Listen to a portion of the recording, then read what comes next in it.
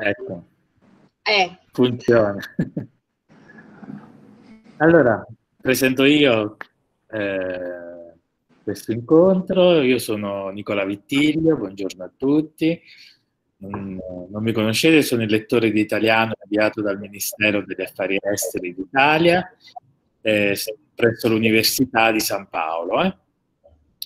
Allora, ora prendo la parola per presentarvi tre incontri organizzati nell'ambito della settimana della lingua italiana nel mondo. Quest'anno il titolo è La lingua italiana tra parola e immagine, graffiti, illustrazioni, fumetti. E eh, la manifestazione è giunta alla sua ventesima edizione. Come sapete, la settimana della lingua è considerato l'appuntamento più importante del Ministero degli Affari Esteri italiano per la diffusione della lingua e cultura italiana proprio a livello internazionale.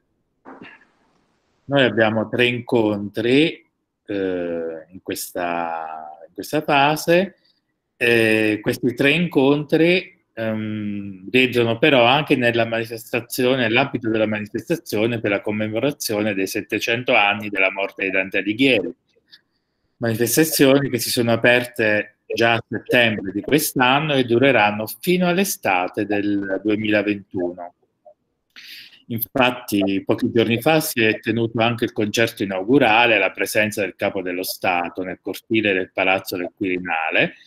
C'è stato questo con, eh, concerto con la direzione del, del, maestro Riccardo Muti. Dicevo che, erano, che presento i tre incontri che avremo questa settimana. L'incontro di oggi, quello appunto di lunedì 19, si intitola L'arte figurativa per i piccoli, un approccio alla Divina Commedia dal Brasile e presenta alcuni esempi della cultura figurativa ispirati a Dante in Brasile. E poi avremo, avremo, quello del 22 ottobre, giovedì, eh, che avrà come invitato d'eccezione il professor Giulio Ferroni, che ci parlerà del suo libro appena pubblicato, L'Italia di Dante, Viaggio nel paese della commedia.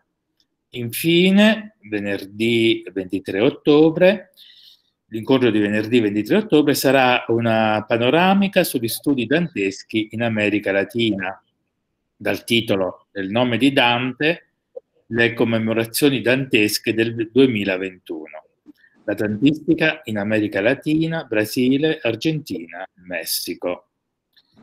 L'ideazione e la realizzazione di tutti questi incontri sono dell'area di lingua e letteratura italiana e del gruppo di ricerca Tradizione Letteraria Italiana del Dipartimento di Lettere Moderne dell'Università di San Paolo, a cura della professoressa Cecilia Casini, e appunto costano nella pagina della facoltà di filosofia, lettere e scienze umane dell'università.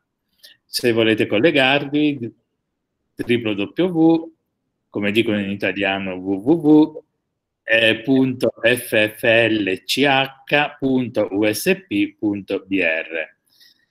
Eh, naturalmente ringraziamo tutti i collaboratori di, questo, di questa manifestazione.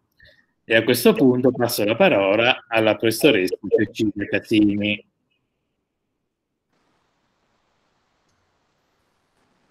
Grazie Nicola, eh, benvenuti a tutti, eh, quelli che sono presenti, quelli che ci seguiranno. Io alternerò un po' l'italiano con il portoghese perché so che ci sono anche alcuni una parte del pubblico eh, che è interessato al contenuto eh, di cultura italiana ma che non domina esattamente la lingua. Eh, ma cercherò di, essere, ehm, di non rendere il testo, del resto molto breve, eh, pesante per questo. Vou alternar um pouquinho com o português para poder uh, garantir que, que pessoas que estão acompanhando, que não dominam o italiano, possam fazê-lo exatamente, mas buscando ser breve e leve. Allora, eh, come dicevamo, questo è il primo di tre incontri che l'area di lingua e letteratura italiana ha organizzato per la settimana della lingua e sono tutti e tre diciamo rivolti a Dante considerando eh, in vista delle eh, commemora- delle commemorazioni del prossimo anno, anticipando le commemorazioni per i 700 anni della morte del 2021.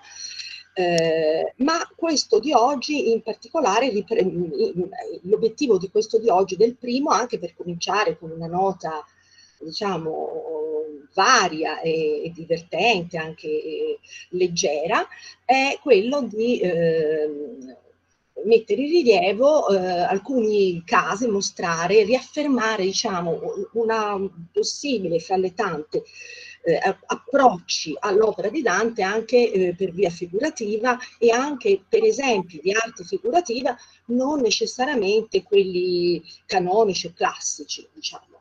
Então, os três encontros que teremos serão os três sobre Dante, lembrando os 700 anos do ano que vem, mas esse daqui, em particular, o primeiro, eh, para também tornar o começo da da semana mais leve, mais eh, apropriado ao momento também que estamos vivendo, mostra também, eh, escolheu, digamos, eh, reafirmar uma possível, entre as muitas abordagens, a obra de Dante também pelo viés figurativo, não não necessariamente por expressões figurativas eh, canônicas também, eh, várias, variadas e eh, dedicadas ao pubblico ampio. Eh. E anche a San Paolo, a San Paolo c'è una tradizione presente nella propria città di questo che vale la pena che sia conosciuta, già che non possiamo muoverci molto di casa. Em São Paulo também tem exemplos disso, importantes, ou seja, de artes figurativas daqui ligadas a Dante, e que agora, por conta da pandemia, não podemos ir ver pessoalmente, né? Então, vale a pena oferecer essa, eh, essa plateia, é a Semana da Língua, para mostrar isso. Eu passo imediatamente, então, falei três minutos a minha apresentação, que na verdade é, é è una, digamos assim, combinei com a minha uma paixão pessoal. La mia presentazione verte su una passione personale, o possiamo dire due passioni personali, cioè Dante e i manga giapponesi, eh, i manga, come diciamo in italiano, e, eh, e il legame con il Brasile è che, fra l'altro, eh, in Brasile esiste una forte cultura di origine giapponese legata all'emigrazione, la letteratura giapponese di origine giapponese è molto presente eh, in Brasile, con molti testi tradotti anche noi, fra i nostri colleghi, credo ci siano dei colleghi, dei, degli alunni eh, presenti, eh, sono molto mh, attivi sul, nel campo editoriale, pubblicano e traducono dal giapponese in portoghese molte opere, per cui alcune, per esempio, io le ho lette in portoghese e non in italiano, o voglio dire romanzi giapponesi, ovviamente, non so giapponese. Quindi io spero, eh, questo ripeto, unisco due passioni, Dante e i manga, i manga e, e sperando anche eh, di continuare il dialogo che ho com colegas de japonese à LUSP. Eh, então, eu estou unindo duas paixões, Dante e os mangás japoneses, destacando o valor, a importância da cultura japonesa eh, no Brasil, especialmente em São Paulo, historicamente já por eh, devido à imigração do final do século XVIII, a imigração nipônica, e a presença da literatura, da cultura japonesa é muito forte, relevante em São Paulo, especialmente, e uma grande eh, ehm, atuação no campo da pesquisa e da tradução. Muitos livros japoneses, para não falar não falando os mangás, são traduzidos do japonês para o português, e eu os li nessa língua, não os li em italiano, por exemplo. Agora, esse mangá, questo manga non esiste in portoghese in realtà, però esiste in italiano, in italiano. io l'ho comprato in Italia a gennaio, l'ultima volta che sono andata in Italia, e di che cosa tratta? Come ho, ho selezionato pochissime immagini, appunto, solo per dare un, una degustazione, diciamo, è la Divina Commedia di Go Nagai, personaggio importantissimo dei manga giapponesi, che fin dagli anni 70 tratta la figura di Dante, anche in altri fumetti. Come vediamo, eh, eh, io guardo dal libro, eh, ci sono varie immagini, le ho prese, scelte solo tre, Dante che si perde nella selva oscura, perché mi trovo, eh, cioè la Divina Commedia, certo, poi perché mi trovo in un posto simile al titolo, ah, perché dove mi trovo da qua, eh, mi sono forse allontanato dalla retta via adesso nel mezzo dell'importante viaggio della mia vita, da quanto mi trovo in questa selva? Ah, Dante, proprio l'inizio che tutti conosciamo della Divina Commedia, ho chiesto a chi nesse bosco scuro, mi desviei da, do cammino agora nesse momento tão importante da mia vita.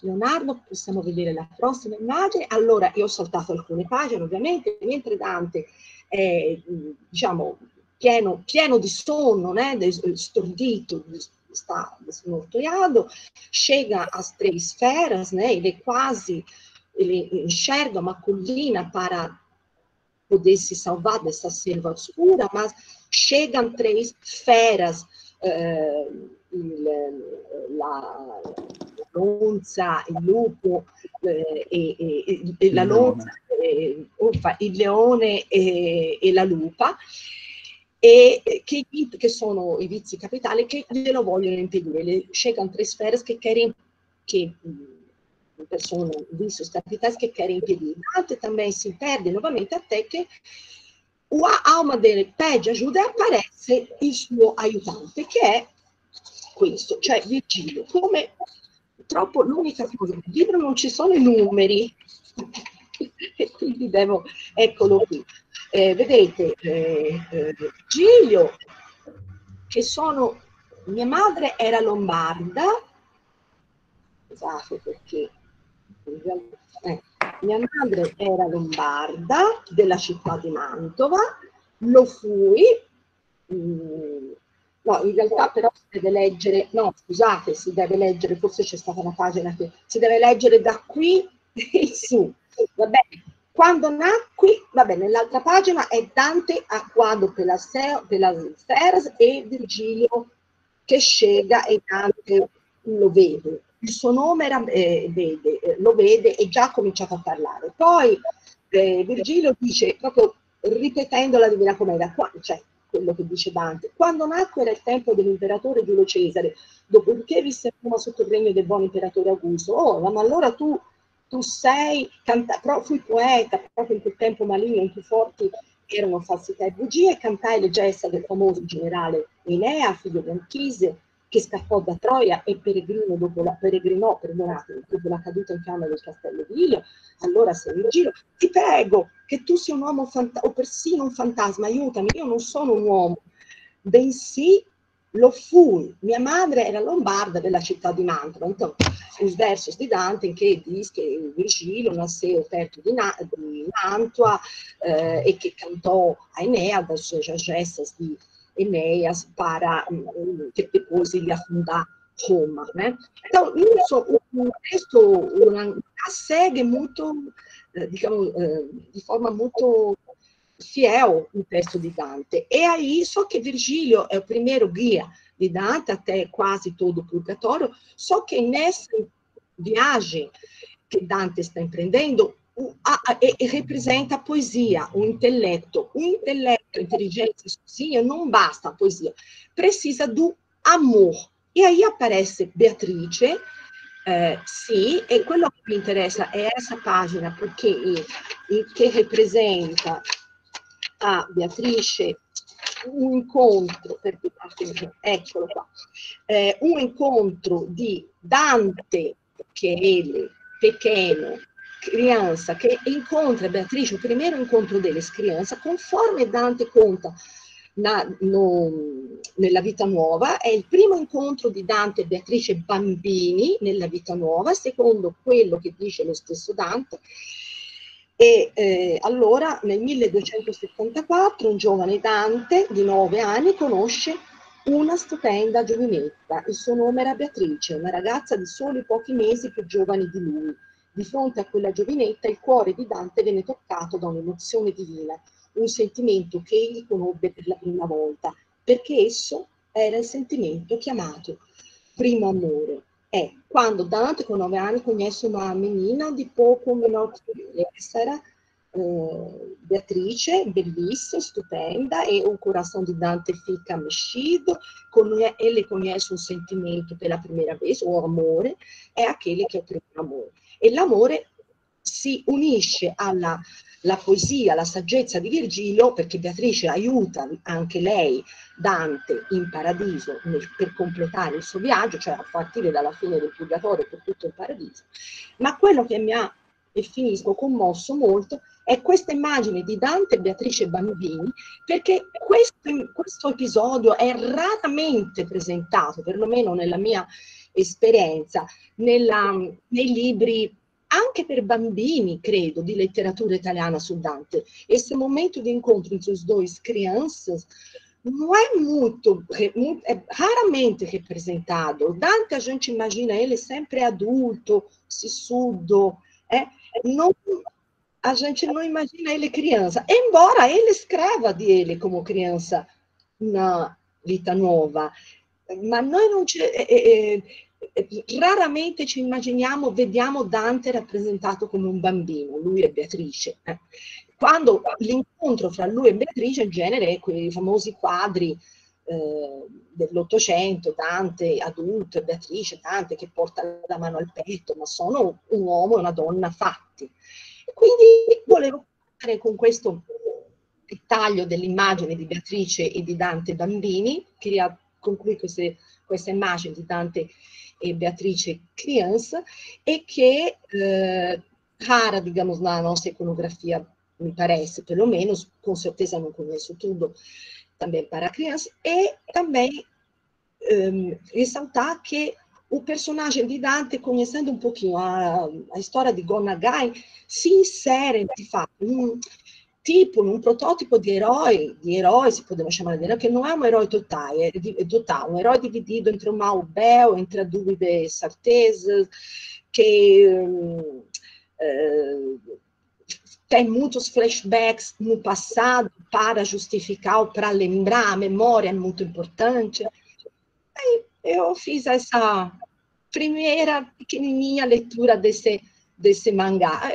Quindi ricordandomi di questi personaggi di Gonagai, sempre div- divisi fra il bene e il male, mai sicuri di quello, divisi fra il dubbio e le certezze, devo, divisi fra dovere e il dovere di essere qualcosa e anche le proprie, eh, come si dice, le proprie mh, debolezze umane, eh, questi ricordi, la memoria del passato, di epoca, di quando erano bambini, mi sembra interessante vedere come questo autore giapponese ha, ha, ha, eh, mi sembra che abbia eh, toccato, trattato Dante anche da questo punto di vista, che non è così comune in Italia, mi sembra. Grazie, io finisco qui e passo la parola a Regina, la mia collega Regina Celia Silva, collega amica dell'Unicamp. Buongiorno, buongiorno a tutti. Grazie dell'invito Cecilia. Ci sono stati dei problemi qui di connessione, ma ora spero che sia tutto risolto. E... Dunque, io presenterò l'inferno di Topolino, che è questa bellissima edizione. Ci penso io a fare la presentazione dell'immagine. Va bene Leonardo, ti ringrazio della disponibilità. Proverò a fare io stessa. E Innan- boh, eh, innanzitutto vorrei dire due parole su, sugli autori, cioè eh, sullo sceneggiatore e Vignetti, il disegnatore, eh, perché sembra che sia Dante è già abbastanza conosciuto e fare un piccolo omaggio agli autori di questa, di questa edizione pare sia un'opportunità interessante di conoscere eh, questi due vignettisti. Quindi due parole su, su di loro e poi eh, vi presento qualche eh, passaggi di questa, di questa avventura e vi propongo di leggere insieme e magari sottolineare qualche punto interessante. Va bene? Grazie. Dunque, eh, questa copia, come dicevo, è una copia che mi è stata regalata da un un, un collega dell'Università di Campinas che è un grande collezionista di fumetti, il professor Giorgio Basilici dell'Istituto di Geosciences. E così, durante una riunione di dipartimento, cui un po' tutti si annoiavano, lui mi fece questo regalo, è stato molto simpatico. io non lo conoscevo e, e, quindi è stato molto carino dalla, dalla parte sua. Bene, eh, Guido Mm, vi do anche il contesto eh, di lettura, come, come, mi è arrivato questa, questo testo, perché non essendo né esperta di fumetti né di Dante, come si spiega la mia partecipazione in questo, in questa, in questo incontro. Eh? E, mm, comunque è un'opportunità di conoscere eh, e di presentare anche a, al pubblico questa curiosità. Di conoscere appunto eh, Guido Martina, eh, che non so se è noto in Brasile, ma che è stato eh, per alcuni anni l'unico sceneggiatore delle storie Disney in Italia. Guido, Martino, Guido Martina, che è torinese, era torinese, nato nel 1916, si era laureato in lettere e filosofia, da quanto pare su insistenza dal padre, perché lui voleva fare l'ingegnere. Poi lavora anche come giornalista, come insegnante e anche lì pare che questo lavoro non, non, non gli, piacesse e, ehm, e, dunque si è messo in contatto con una società di, di, di cinematografica italiana, la Futurista Film, e occupandosi allora di eh, regia e, e sceneggiatura. Poi viene invitato dalla Metro Golden Mayer e la Gamon uh, che lo incarica di fare un, un documentario sulla, sulla, legione straniera in Algeria. Eh? E allora si trasferisce a Parigi per alcuni anni. Poi quando torna eh, scrive già insieme a Angelo Violetto, che è il disegnatore, dei Canovaci per una nota eh, trasmissione radiofonica I quattro mos- moschettieri, eh, con le mosse dal romanzo di Alexandre Dumas. E lì è cominciata la carriera eh, di, diciamo, di fare parodie, è lì che ha cominciato a fare le parodie su tutto ciò che succedeva in quel momento. Poi quando scoppia la guerra, invece, viene chiamato, richiamato come ufficiale di cavalleria in Libia, dove venne fatto prigioniere dagli inglesi e dopo l'armistizio del 43 viene spostato in Polonia e poi deportato in Austria in un campo di concentramento. Dopo la liberazione ritorna a casa e in, in, in, vive un periodo di grande difficoltà economica Nonostante questo riesce a, a pubblicare un romanzo incentrato sull'esperienza della guerra. E in questo periodo comincia a collaborare, a collaborare con la Mondadori facendo le traduzioni, all'inizio le traduzioni Disney. Ma il professore, come era affettuosamente chiamato dai colleghi, eh, in 40 anni di lavoro ha fatto niente meno che 1200 storie. È scomparso nel 91 e, e questa pubblicazione esce appunto nel 92. Mm? L'inferno di Topolino è così eh, impreziosita da, dalle terzine rimenate dalla sua genialità, spesso ironica, ma eh, a tratte anche molto crudele. Poi dico anche due parole su Angelo Violetto, che magari voi conoscete bene, eh, io non conosco abbastanza, ma so che è molto noto in Italia. Il suo lavoro eh, come vignettista, umorista, che ha lavorato per parecchio tempo alla stampa, grandissimo illustratore, eh, ma che solo sporadicamente ha, ha fatto fumetti. Nel 1939 la Mondadori gli propone di disegnare alcune storie di Guido Martina. La prima fu eh, Topolino e il Cobra Bianco e poi Topolino e i, grigi, i Grilli Atomici e successivamente eh, L'Inferno del Topolino fatto tra 1949 e 1950. Dunque, ora vi invito a a leggere con me qualche pezzo che pare sia interessante, vedere delle immagini, faccio la presentazione, magari tolgo, tolgo la, mia, la, mia, immagine perché così si, si carica meno eh, il sistema. Un attimo solo, sono un pochino imbranata. Ecco qua.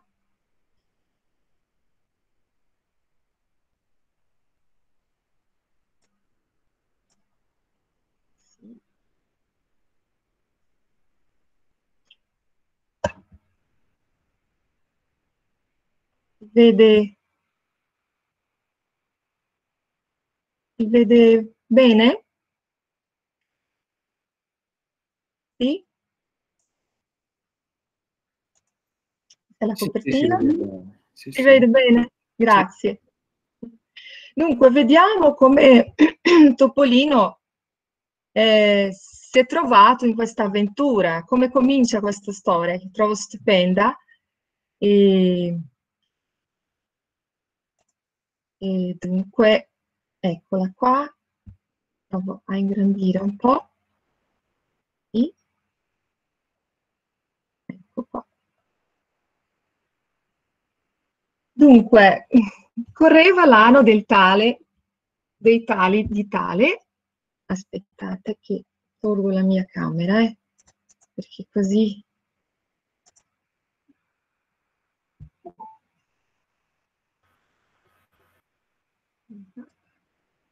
Ecco. L'inizio. Correva l'anno dei tali di tali e l'orologio dell'attore suonava le 10 battendo 20 rintocchi perché era balbuziente. In quel momento Topolino e Pippo mietevano applaudi, applausi recitando una grande commedia, anzi una divina commedia, nella quale Topolino faceva la parte di Dante niente meno, e Pipo naturalmente faceva Virgilio, niente poco di meno. E quindi uscimmo a rivedere le stelle. Arma virunque cano, è un'ingiustizia, tu canti le stelle ed io devo cantare i cani.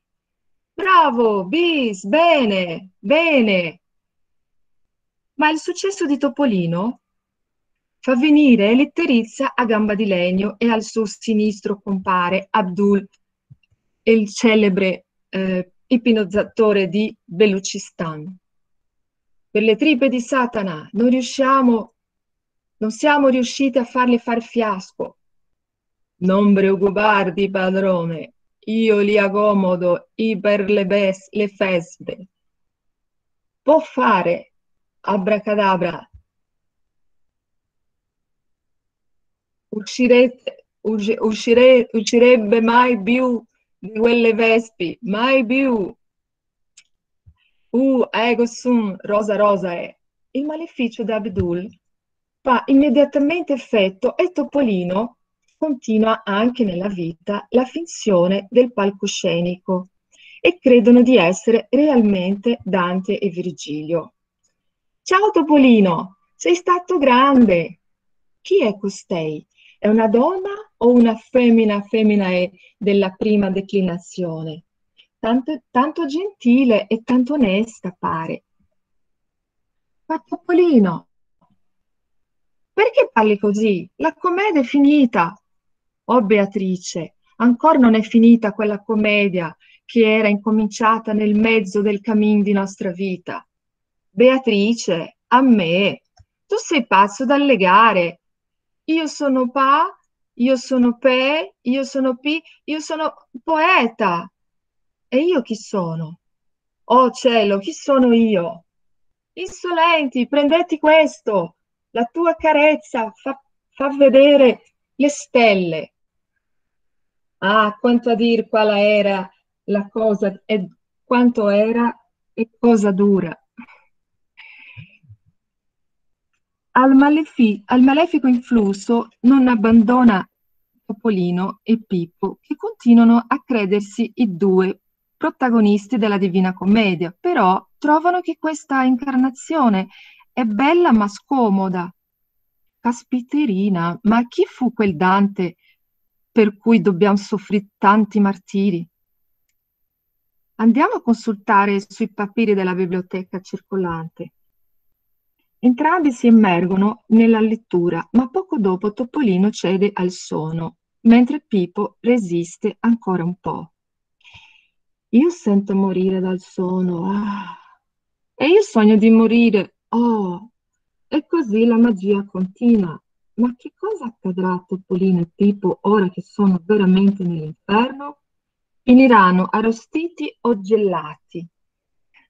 E così questa introduzione mi pare che valeva la pena leggerla con voi, che è stupenda e parla di per sé, no? Poi eh, la prima pagina, già nel canto secondo, questo punto particolare attenzione perché mi pare stupendo che Virgilio scenda in bicicletta eh, per incontrare Topolino. Faccio la lettura. Come nel primo canto, vebbe a dire, in una selva oscura mi trovai che nel pensier mi fa rabbrividire. Quivi sospiri, pianti ed alti guai, parole dire suon di man con quelle, sì che pareva d'essere un tramvai, nel quale il passeggero vede le stelle, impero che viene compresso al punto che dalle falci gli escono le budelle. E così, terrorizzato, chiede aiuto, aiuto a me, alzai lo sguardo e giuso dalla vetta vidi calare in corsa ratte e folle un tal che pedalava in bicicletta. E qui eh, faccio notare mh, mm, la, i, i, registri contrastanti, dissonanti no? tra i dialoghi, i disegni e, e, le ter- e le terzine, ovviamente, che potenzializzano l'effetto d'umore, d'umorismo e di ironia. E quindi si legge, eh, eccoti Gagliofo, sei venuto finalmente. E giù si legge, tosto che innanzi a me fermarsi volle, con parolette dolce e faccia lieta, gridandomi, benvenuto a questo colle. Tu chi sei e che cosa vuoi da me? Che cosa voglio? Che cosa voglio? Far, portarti all'inferno. Io sono Matto Pippo e son poeta. Or per l'inferno ce ne andremo a spasso verso una scura e dolorosa meta. Noi siamo qui per sbaglio e dobbiamo cercare l'uscita. E chi apra la porta?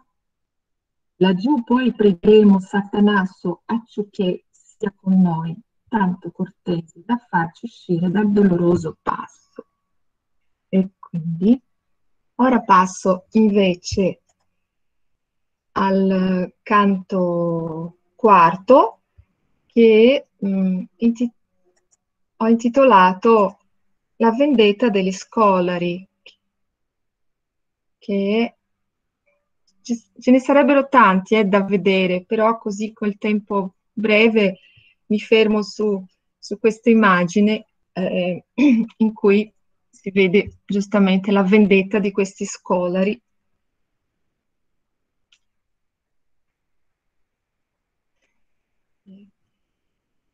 sono quelle bestacce.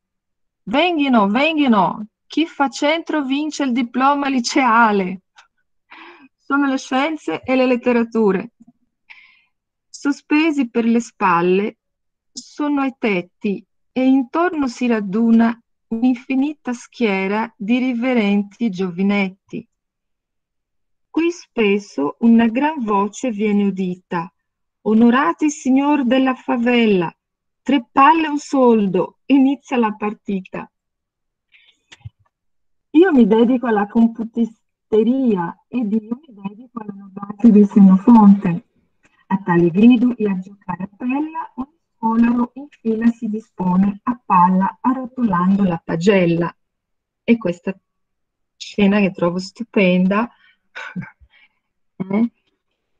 Oh, questa è per i dialoghi di Platone. E questa è per congiura di Catalina, Catilina. e chi bersaglia Ovidio e Platone, ma soprattutto quella scolaresca colpisce nel sedere Cicerone. Vorrei dire, vorrei dire due parole a quella vecchiaccia che sembra Eulalia, favella. Il quadrato costruito sulla, sull'ipotenusa è uguale alla radice del dente di mia nonna. Poeta, io cominciai, non ti rincresca. Svelarmi chi sia mai quella frenetica vecchia che oscilla in guisa sì grottesca. Prendono l'aritmetica. È peggio della peste bubonica. Mettetele, mettetele la camicia di forza. Io sono la regina della tavola pittagorica.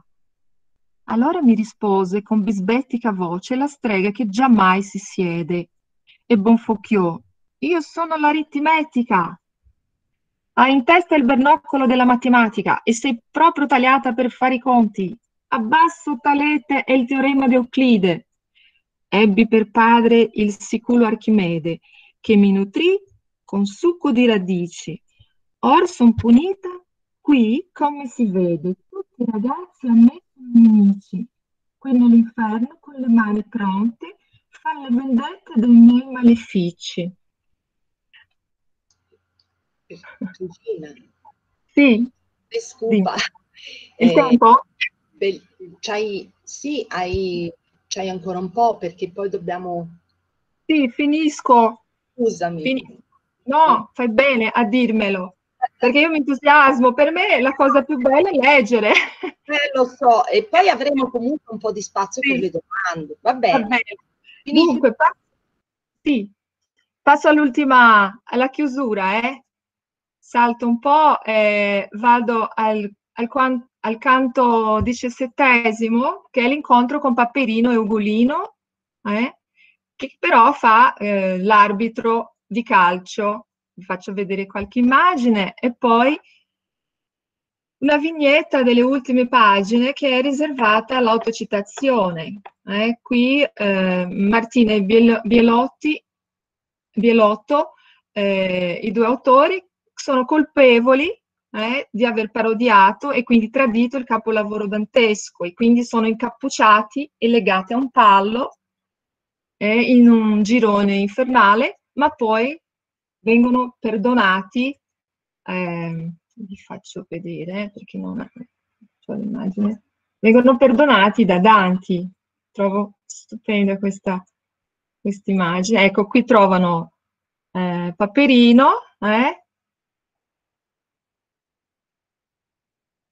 e la sua doppia personalità, eh, Topolino, ti voglio bruciare vivo, carissimo Topolino, lascia che ti baci. Chi è quella bestia?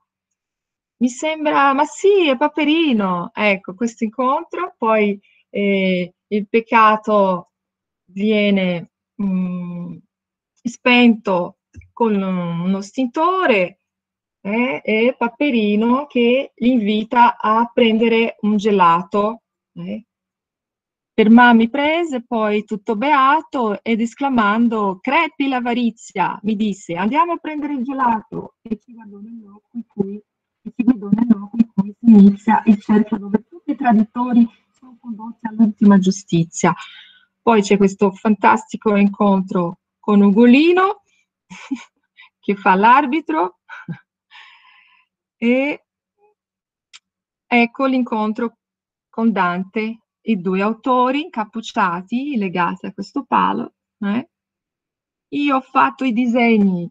Confessate, confessate, in qual modo mi avete tradito? Io ho scritto i versi imitando la Divina Commedia. E innanzi a loro, starrito la, la Lighieri, che li pun- punzecchia con la pena in resta, in punizione dei loro peccati veri. Eh. Io lo fermai dicendo, bene arresta, su questi due tappini. Io so che l'intenzione loro fu onesta. Non senti come gridano? Evviva! Sono i lettori di Topolino. Ecco, e così vieni perdonato, Dante perdona gli autori, eh? ascolta, ascolta tutti quei ragazzi, non li senti gridare che davvero si sono divertiti come pazzi. Allora Dante racquettò il suo fiero disdegno e disse al triste scrittorello, va, porta il mio messaggio al mondo intero. Eh? E così, per questa volta andate pure, Oh patria mia, solleva il capo affranto, sorride ancora, oh bella fra le belle, oh madre delle madri, asciuga il pianto, e il cielo che ti accenda di fiammelle splendide a rischiararti ancora la vita. Sì che tu possa rivedere le stelle. Dio ti protegga, Italia, così sia. Ecco. Così finisco questa presentazione, grazie. Grazie Regina. Eh. È stata una lettura insieme, la trovo, trovo, molto simpatica, molto bella. Mi sono molto divertita leggendo, pensando a voi. Regina, vuoi passare la parola al prossimo, eh, che mi pare sia Caroline? Caroline, sì, ora passo la parola a Caroline, grazie. Eh, sì. Uh, buongiorno a tutti, buongiorno. Ascoltatemi? Sì, sì. Sì, sì, sì. Ah, ah grazie.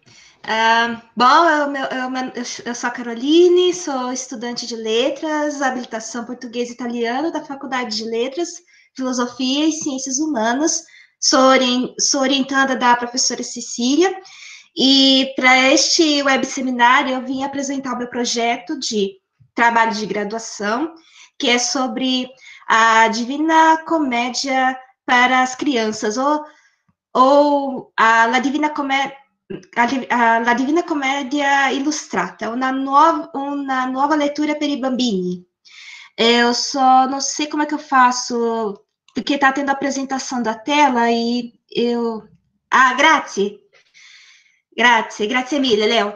E e, assim, o, o objetivo desse projeto de trabalho de graduação era fazer uma leitura visual da Divina Comédia, e em especial ao público infantil e juvenil. É, mas nada que também impede que o público adulto também se interesse.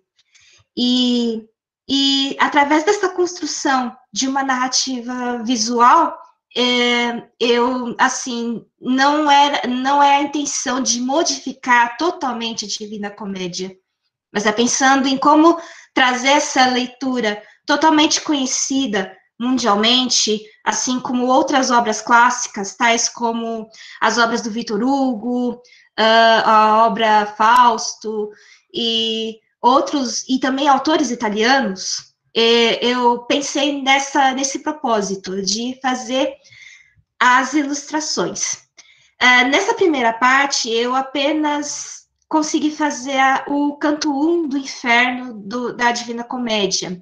A intenção é fazer todas as partes da Divina. No entanto, não é um trabalho simples e não é um trabalho fácil, é um trabalho que de anos, né? Porque como sou eu apenas que estou ilustrando as, as passagens, então é um trabalho de é um trabalho duro, é um trabalho complicado para uma só pessoa.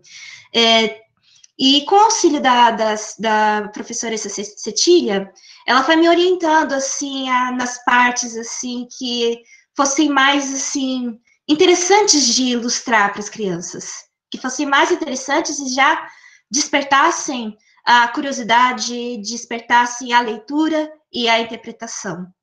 Ao mesmo tempo, do lado dessas ilustrações estaria não só apenas a versão original da, da Divina Comédia, mas haveria uma tradução.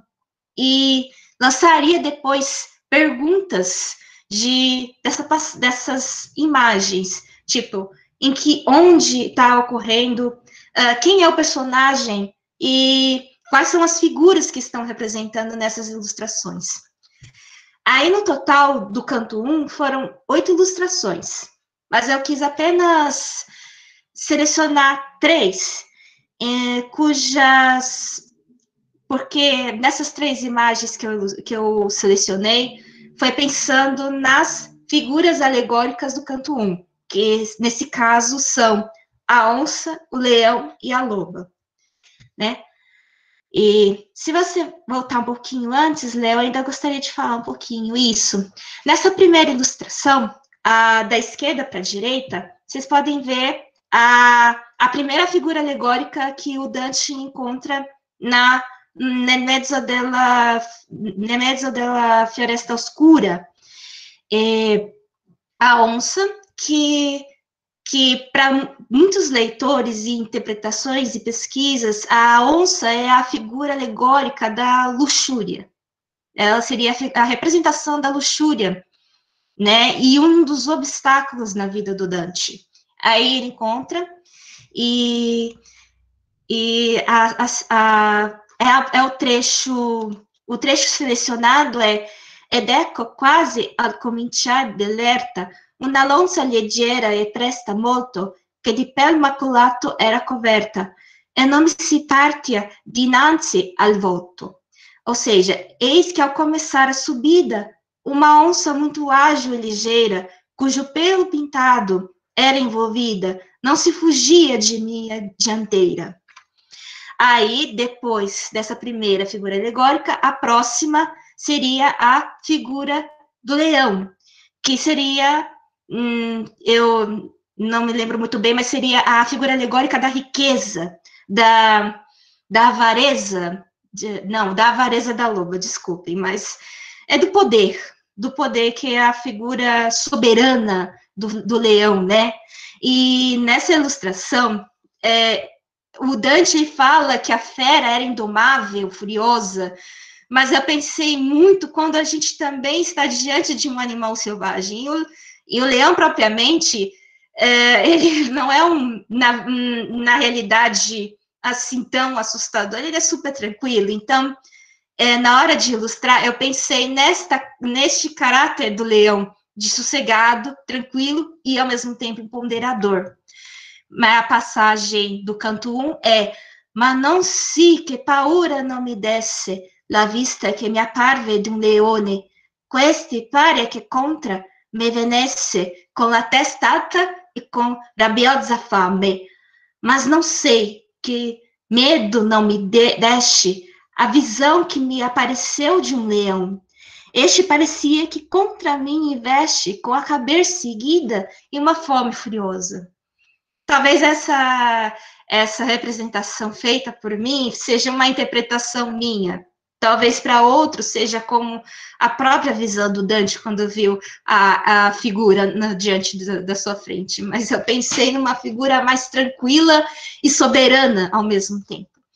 Aí a próxima, por favor, isso. É, tem uma ilustração da loba mas essa aqui eu escolhi especificamente porque ela é o momento de transição em que a, a loba ataca o Dante e aí a figura da sombra aparece para ajudá-lo. Que no primeiro momento nós não sabemos quem é. E mas sabemos assim, lógico, quem já leu é o Vigílio, mas pensando para as crianças, é um mistério. Você não sabe quem é essa sombra, a silhueta de uma sombra que está no segundo plano da imagem, enquanto que no primeiro plano nós vemos a loba, que é a figura alegórica, sim, da avareza, atacando o poeta. Aí, essa parte é tal mi fece la bestia senza par pace, che venendo-me incontro, a poco a poco mi, ripin mi ripigneva laddove il sol tace, mentre che lui ruvinava il basso loco, dinanzi agli occhi mi si fu offerto, che per lungo silenzio varia fioco. Tal me fez a besta de paz carecida, que vindo ao meu encontro pouco a pouco, me atacou até onde o sol resplandecia. Ao mesmo tempo, ao cair do vale tampouco, diante dos meus olhos, foi-me oferecido alguém de aspecto silencioso e obscuro. Então, essas foram as três ilustrações que escolhi para apresentar neste seminário da Semana da Língua Italiana. fazem parte do projeto de graduação, que ainda pretendo continuar levando firme.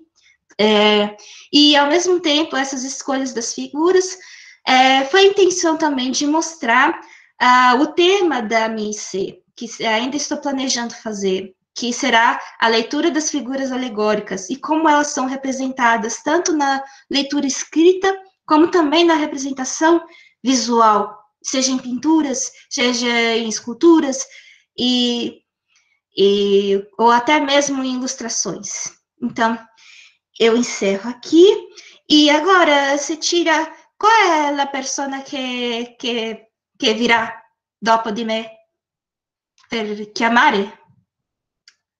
É, é o Paulo de Tarso, se não estou enganada, se a memória ah, não sì. me Ah, sì.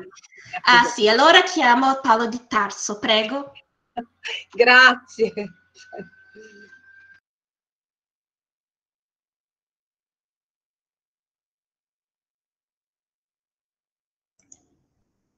Agora, é, muito obrigada pelo convite. É, bom dia a todos. É, queria agradecer especialmente a Cecília, que me pegou no meio do caminho, no meio de uma selva escura. É, eu estou desenvolvendo. Meu nome é Paulo de Tarso, como já falou, Caroline. É, eu estou desenvolvendo um trabalho que deverá ser publicado no site Digital Dante da Universidade de Colômbia é, eu procurei aí representar e tentar mostrar um pouco da viagem de Dante. Né? É, todo mundo gosta de viajar, e quem viaja não é a mesma pessoa que volta. Da mesma forma que quem faz a viagem de Dante, quem lê Dante, não retorna a ser a mesma pessoa uh, de antes. Né? A viagem de Dante é algo excepcional na literatura mundial.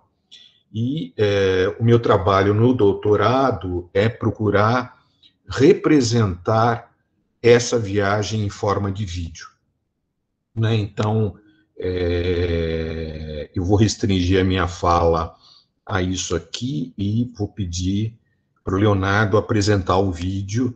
É, esse vídeo é, está em processo ainda e é, vocês vão é, poder olhar e depois, se quiserem entrar em contato, fiquem à vontade, tá bom? Leonardo, pode passar.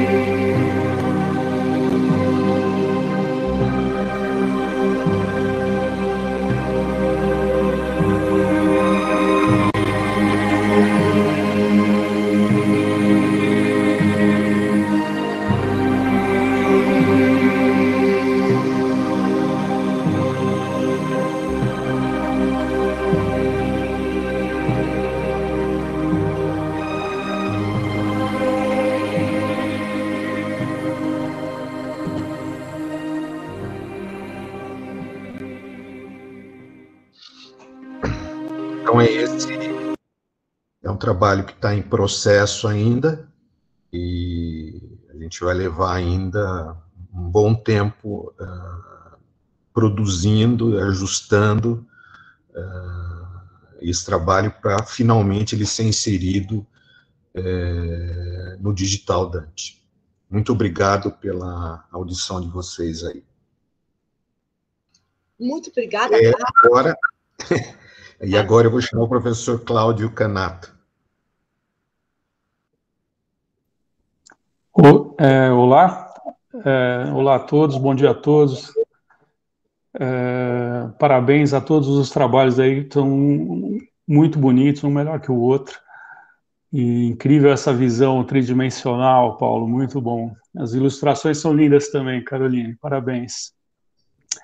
Muito obrigado, Cecília, pela participação, por, por essa chance de poder falar um pouco do trabalho e mostrar um pouco do meu trabalho, né? É, há uns anos atrás, no, no centenário do, do, Colégio Dante Alighieri, eu fui chamado para desenvolver um mural sobre a Divina Comédia. Foi, a, proposta foi minha, enfim, eu, e eu tive que me adaptar à escola por conta de que tem até uma história engraçada. Eu, eu apresentei um projeto que previa fazer 30 murais. Era, eu ia tomar conta do prédio inteiro e daí eu pedi um prazo de 25 anos. E o, o, o, presidente, claro, deu risada, não falou não, né? Mas falou: não, olha, a gente vai fazer a primeira parede, pode começar e tudo mais, para o centenário. E eu, não, e eu pensei que eu tinha só essa primeira parede para pintar, né? Então eu tentei resumir ao máximo possível, e essa acho que foi a primeira dificuldade do colégio, de pintar esse mural, que foi o que deixar de fora, né? O que tirar, muito difícil, né? É, cortar alguma coisa da Divina Comédia e, e resolver espacialmente também, né? Eu estava dizendo com o Paulo um pouquinho antes, é, eu tive uma parede plana para resumir um, um, um, inferno que é cônico, assim, não é uma coisa, uma coisa difícil de fazer. Então eu tomei algumas liberdades, né, embora tenha sido bastante fiel ao texto de Dante, eu tomei algumas liberdades, como por exemplo escolher um único um único círculo e colocar nesse círculo um pouquinho um representante de, de cada outros círculos do inferno.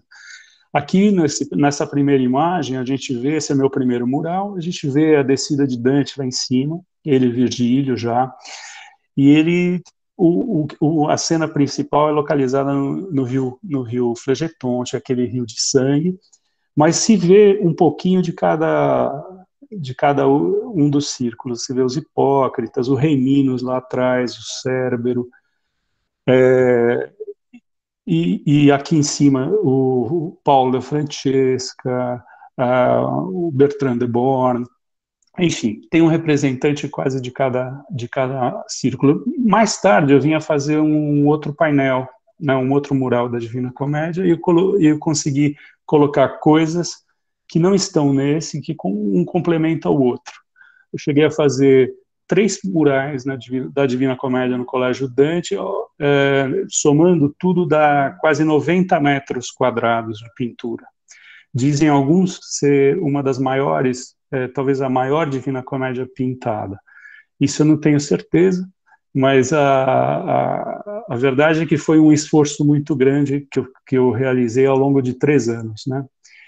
E por se tratar da de uma escola, foi muito interessante fazer, porque teve todo um pensamento na construção desse projeto, um pensamento assim didático de como passar, como aproximar a criança desse de um universo tão denso, de um tema tão difícil, né?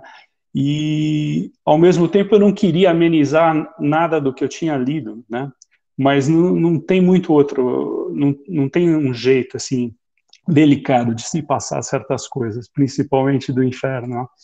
E mas para minha surpresa, a visita das crianças começou muito cedo e, ela, e eu vi que, ela, que esse inferno não, não assustava tanto assim, né? E a gente começou a bater papo e fazia desenhos uh, ali junto com, a, com, as crianças durante o processo. E, e foi uma troca muito grande, porque eu vi que o interesse deles por, por tudo aquilo, e eu comecei a acrescentar figuras da, desse universo mitológico que Dante traz, né, que o Dante mistura ali, e que eles gostam muito, né. Então eu comecei a trazer com pequenos, nesses pequenos detalhes, eu comecei a aproximar a obra deles, né. E o que é interessante de tudo isso é, é que desse dia a dia, eu acho que eu, é, esse dia a dia, esse contato com a criançada, com a pintura, enriquece o enriqueceu o colégio mudou o dia a dia do colégio, né? O, o mural ele ganhou a dimensão de uma ele virou uma ferramenta de educação né, disponível à disposição de todos os professores e de todas as crianças. Quer dizer, todos os professores começaram a usar o, o, o mural como essa ferramenta para discutir diversos assuntos. E isso acho que foi, para mim, o mais uh, o aspecto mais rico da, da, do, do, meu trabalho. É, eu descobri ali no Dante que a pintura podia ter outra dimensão, né? E desse dia a dia também nasceu a, a possibilidade, eu vou pedir para o Leonardo ir passando as fotos para o pessoal ver, porque eu acho que eu não vou entrar no, no mérito dos detalhes aí, porque senão eu vou falar é, muito, eu não tenho tempo. Mas aqui, por exemplo, é uma cena do paraíso terrestre, o Dante está tomando a água do rio Letes ali, ele recebe as virtudes. Nesse painel tem três, essas três mulheres ao lado, são as três virtudes teologais, né? a fé, a esperança e a caridade.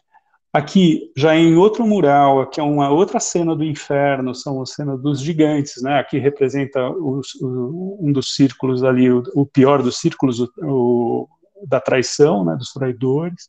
Esses gigantes se revoltaram, traíram é, Zeus, enfim, é, com exceção desse mais claro aqui do centro, que é Anteu, que ajuda Dante a descer, enfim.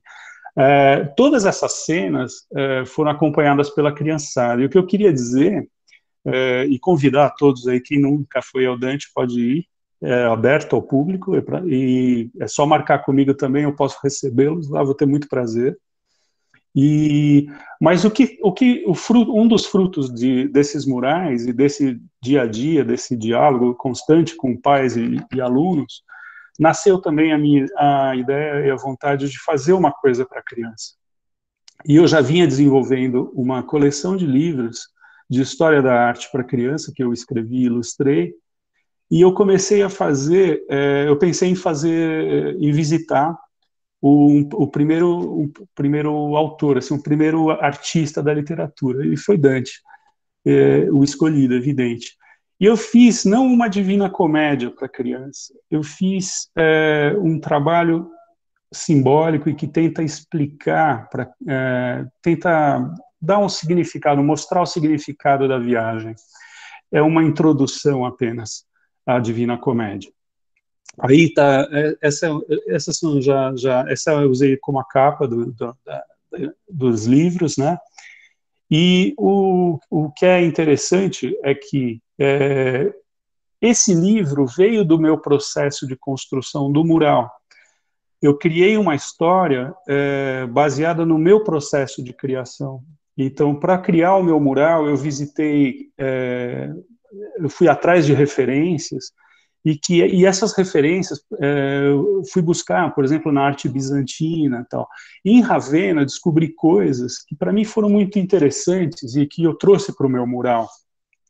E paralelo a isso, eu pensei que é, em fazer uma história, construir uma história como se essas referências é, tivessem sido vistas e usadas por Dante, pelo próprio Dante como esse labirinto que a gente está vendo lá na Basílica de San Vitale, é, para mim é muito nítido, pelo menos para mim, né? É, eu não posso falar que o Dante viu isso e pensou a mesma coisa, mas isso ajuda muito visualmente a, a se pensar nos círculos concêntricos, tanto no esquema do, do inferno como do purgatório.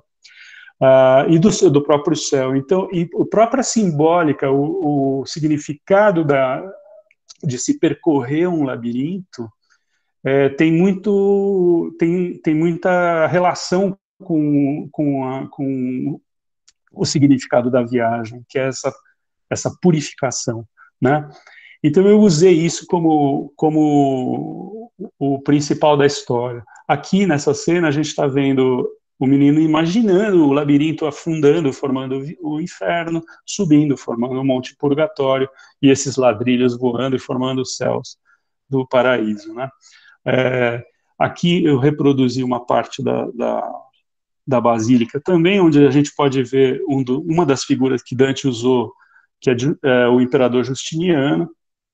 Então, eu, eu fiz, na verdade, uma história é, baseada em, no, no, no, processo que foi meu de construção e que talvez tenha, tenha ajudado Dante, porque, é sabido que ele, ele, ele visitava esses lugares, né, porque ele morava muito perto. Aí nesse céu, é ao lado, no mesmo complexo da, de San Vitale, ao lado, né, tem a, o, o, mausoléu de Gala Placidia, e ali eu encontrei esse céu de estrelas, tal, que para mim é uma imagem muito clara da Divina Comédia.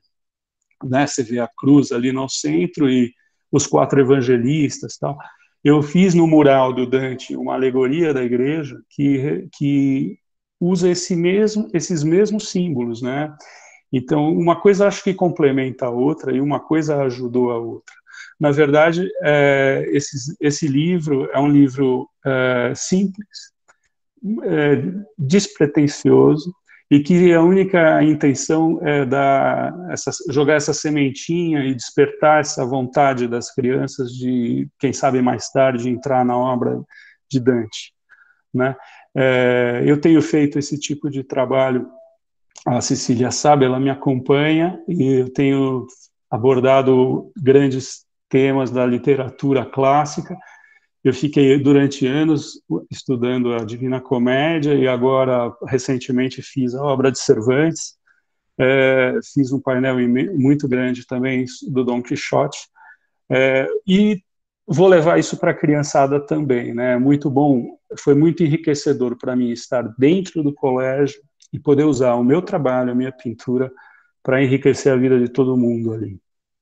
É, eu Acho que não sei se tem mais alguma imagem aí. Essa é a última.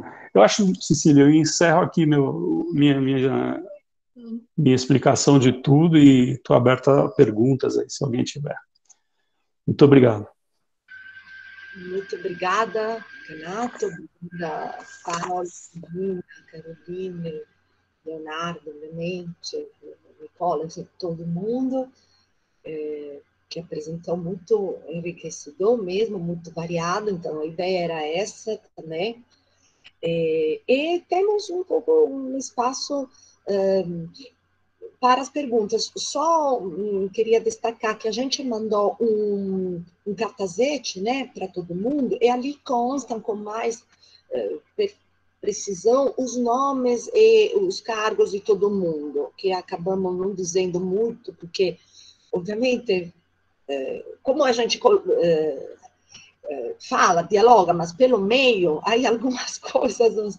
Então, mas assim, eh, como falei, a professora Regina da Unicamp, a Carolina que faz conosco na USP, né, graduação prestes a fazer pós também, o professor Paulo de Tarso, que é arquiteto e faz também doutorado, e o Cláudio Canato, que é artista, professor de artes plásticas, artista lá do Colégio Dante Alighieri. E o nosso Leonardo, que é na pós italiano, né? Nicola Leto, enfim. Agora tem espaço para as perguntas. Ó, oh, tô vendo a Doris, Doris, um beijo. Eu vi também a Irene, eu vi várias pessoas aparecendo que eu não cumprimentei antes, mas todo mundo está cumprimentado. Irene. Tem espaço para perguntas. Tem uns 15 minutos, se vocês querem.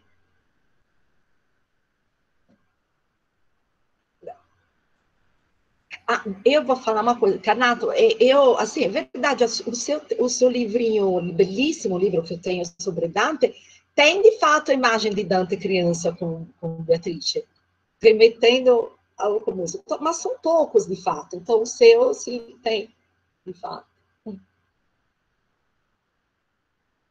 Boche. Ah, ah, sim, uma ilustração de, de, página dupla ali, né? O encontro dele com ela na Ponte Vecchio, né? É. Como duas crianças. Né? Sim, sim, sim. É. Poético, né? Ah, com Ponte Vecchio. Sim, sim. Mas é, é fascinante, né? É um universo fascinante dele. Sim. Perguntas, algumas observações, vocês conheciam, por exemplo, o esse afresco que o Canato, que está no Colégio Dante Alighieri, só que o Colégio Dante Alighieri agora está fechado, mas na verdade, como o Canato disse, pode até se visitar, né, o afresco, entendi. Pode se visitar, se, se quiserem também, antes de ver alguma coisa, dar uma sapeada no meu site, o site é canato.com.br, e é só entrar em murais, ali vocês vão ver um monte de fotos a mais do, do, do, do processo, inclusive, que o processo foi muito rico né? É, mas o resultado, assim, é, foi, foi, extraordinário, eu acho, por, com as crianças, né? Essa coisa de... To, mexeu com a dinâmica da escola. Desculpem é, falar de novo, mas a, a, a, isso aconteceu no Dante, primeiro, e agora no Miguel. É, mudou essa dinâmica, a presença de uma obra grande ali, né, e que todo mundo pôde acompanhar. Quer dizer, os pais tiveram que ler a Divina Comédia para explicar para os filhos certas passagens. O colégio fez todo mundo ler uma pequena adaptação, também para todo mundo poder acompanhar. Então, isso tudo é, é, é, gerou um movimento muito rico lá dentro. Né? Isso que foi gostoso. Sim, sim, certo. E também é, eu tive, te, tive até tempo para ver o sobre Don Quixote também, né? Que você fez. Sim, sim, sim. Maravilhoso também.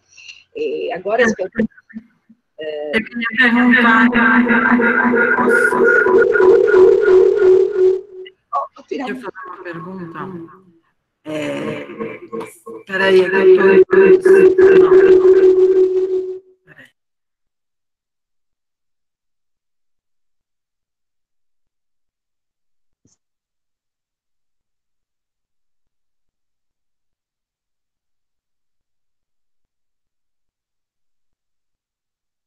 É, acho que, Canato, se você tirar um momentinho o seu áudio e, e a Doris abrir, acho que dá para a Doris fazer a pergunta e depois o Canato responder. Mas acho que tem que. Pode ser? É, é. Doris, accendi il tuo microfono. Adesso penso che.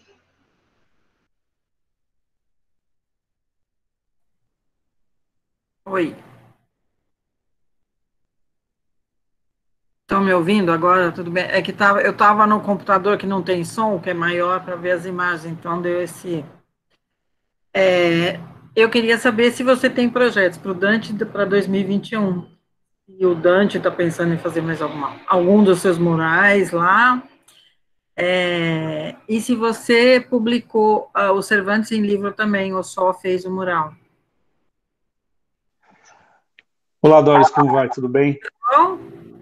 Tudo bom. Uh, eu tenho um projeto, sim. É, gostaria muito de pintar uma, uma, uma outra parede, que seria o Empírio, né? Ela tá toda, já foi criada, inclusive.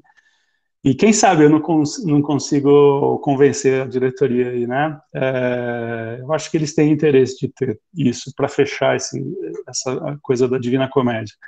O Dom Quixote, é, eu ainda não publiquei, mas eu, eu, ele está em andamento, né? Porque é uma coisa muito gostosa, muito engraçada e, e para criança tem tudo a ver. Eu vou fazer sim, ele vai ser o, o próximo livro da, de literatura da minha, da minha coleção de livros de história da arte. Ok?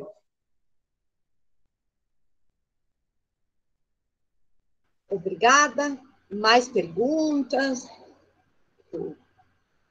não sejam tímidos, porque eu conheço o trabalho da Arbusa de, todo tempo. Né? Por exemplo, sei que a Caroline fez também um, uma historinha, ela não é ilustrada a partir de Leopardi, Leoperette Morale, muito em forma de, não é, Caroline? E, ou seja, que tem um trabalho autoral, é? Sim.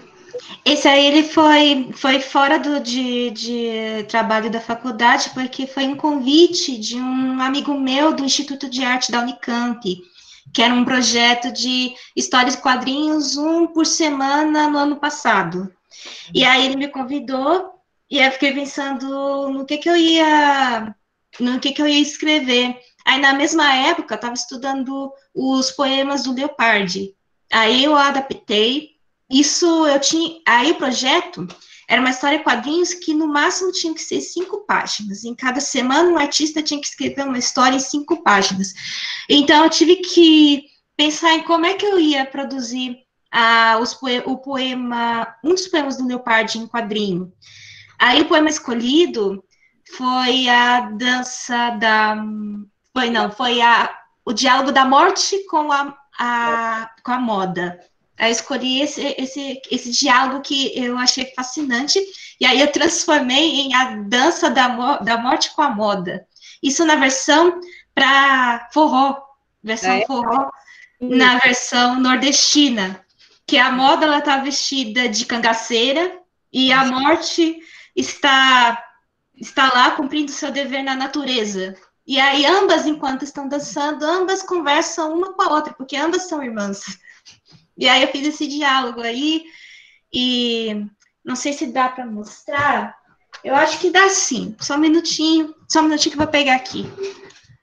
Aproveito a Carolina para dizer que depois a gente pode tentar juntar também é, bibliografia, pergunta, enfim, para fazer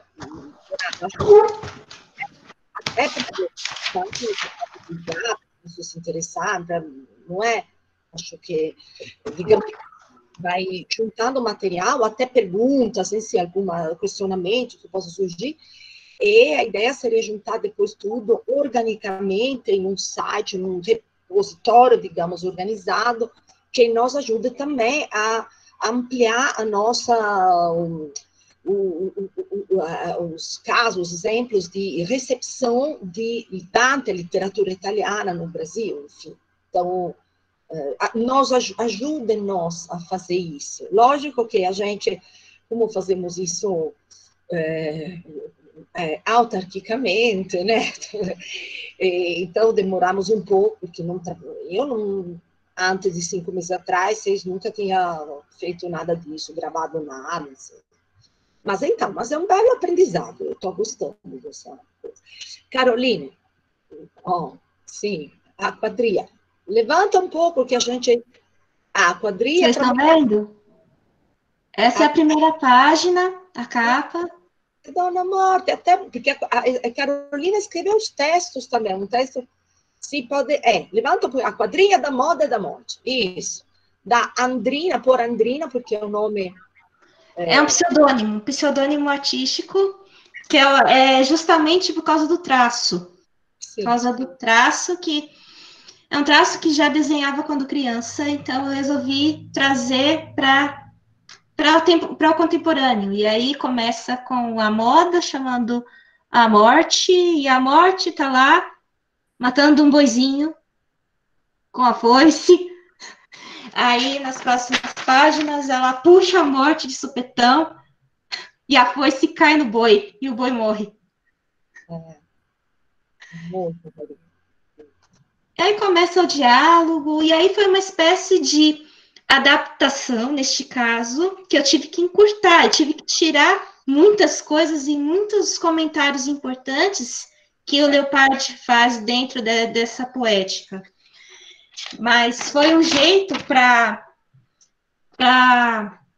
não só apenas ilustrar, mas também mostrar um pouco também a literatura italiana numa versão bem brasileira, que é a versão da quadrilha, versão Sim. da cultura nordestina. Belíssimo, realmente.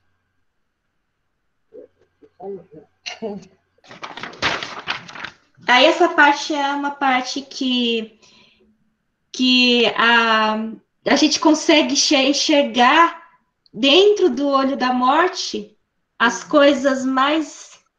O que se vira antes, né? Sim, a gente olha no, bem profundamente no olho da morte a miséria, a, uh, os sentimentos mais profundos do ser humano, uh, a relação à vida e à morte, e como isso está atrelado à moda. E aí, no final, as duas estão dançando com os esqueletos.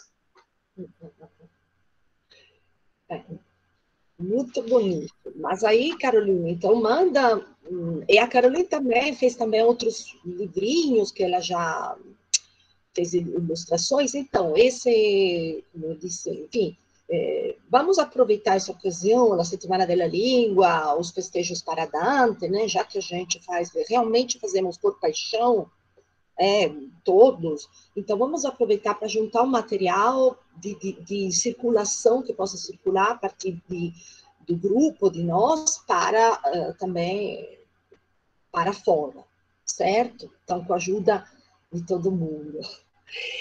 Tem mais alguma pergunta? Só encaminhando para encerrar. Professora, posso só fazer um comentário rapidinho? É, então, enquanto o pessoal pensa nas perguntas, né? É, na quinta-feira, então, nós temos, né, retomando aquilo que o professor Nicola disse, a conferência com o professor Giulio Ferroni. Depois, na, na sexta-feira, a nossa terceira conferência sobre a dentística na América Latina, né? E lembrando que o link ele é enviado no dia anterior. Hoje, como nós tivemos aquele problema, eu enviei de manhã, né? Mas eu vou tentar manter o padrão e enviar no dia anterior, tá certo? Obrigada, Leonardo. E se não tiver outras perguntas, então eu encerro esse, esse primo encontro da Settimana della Língua 2020. E... Cecília, tem uma pergunta que, me, que eu vi aqui, se eu puder responder. Sim. Olha, é, o meu o livro é diretamente comigo. Tem alguns pontos na cidade, principalmente lojas de material de pintura que estão vendendo a minha coleção, mas se quiser, você pode falar diretamente comigo pelo site ou pelo meu telefone, se eu puder dar, é 99608 6777 quem tiver interesse na coleção de livros, tá bom? Obrigado. É 99608-6777. Ok? Isso, obrigado, Leonardo. Obrigado.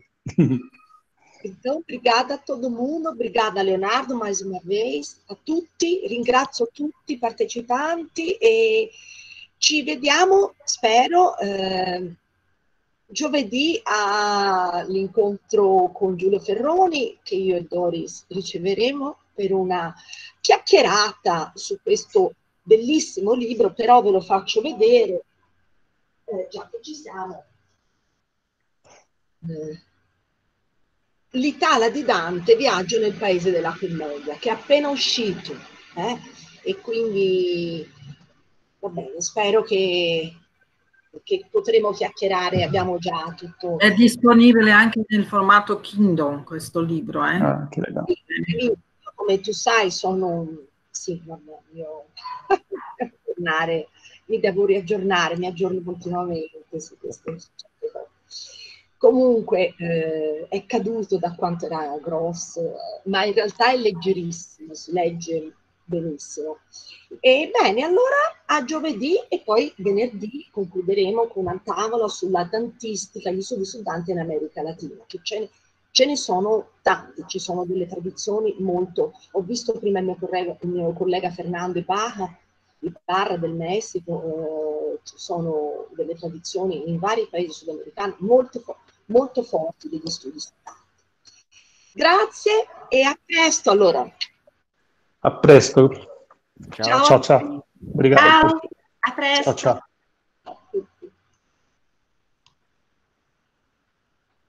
Ciao, ciao.